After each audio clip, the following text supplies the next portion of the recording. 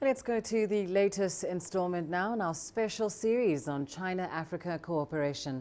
Back in 2012, China pledged to extend loans to African countries to support infrastructure and manufacturing. Well, CGTN's Tang Bo meets with some Chinese banks operating in South Africa to get an inside look at how business is growing.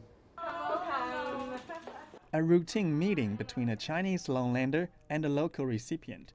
On one side is Li Tianshu and her team from China Construction Bank, on the other, Aberdare, a cable manufacturer in South Africa. Li and her team are here to check the company's financial performance after the loan was given last year. The post loan management aims to avoid bad loans caused by inappropriate use of the money, asset sales, equity changes, and so on. It's an important part of our financial services package. Funding is always important, especially for companies like Aberdare. It has salaries to pay and raw materials to buy. Its cable making outfit was purchased by a Chinese company in 2015. It is now South Africa's biggest cable manufacturer with over 1,500 employees. Its production relies primarily on aluminum and copper, but prices are always fluctuating on the international market so large sums of money are needed to ensure a steady material supply. This facility for Aberdare Cable is just one example of Chinese financial institutions helping Chinese enterprises expand their overseas businesses.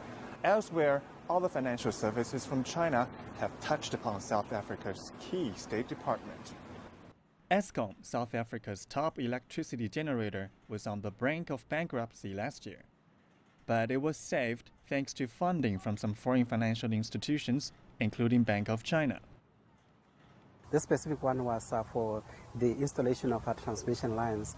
You'll remember that uh, we currently are uh, connecting uh, renewable energy projects into our network, so that money will go towards uh, installation of uh, transmission networks. Gavin Bauer, a business development manager from Bank of China, is in charge of post-loan management. He's witnessed changes in Eskom since they received the new funding. I think before the loan was given, uh, Eskom was doing business in the infrastructure spend. Post the loan, uh, we've seen changes in the internal governance and management, uh, and we've seen that they've actually accelerated their build program, especially with some of the power stations that have come online. Aberdare and Eskom are two success stories of African manufacturing and infrastructure development being helped by Chinese companies.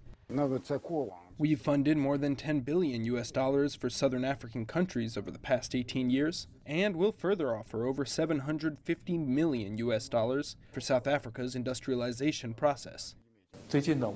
We are currently helping South Africa attract foreign businesses and investments to their economic zone.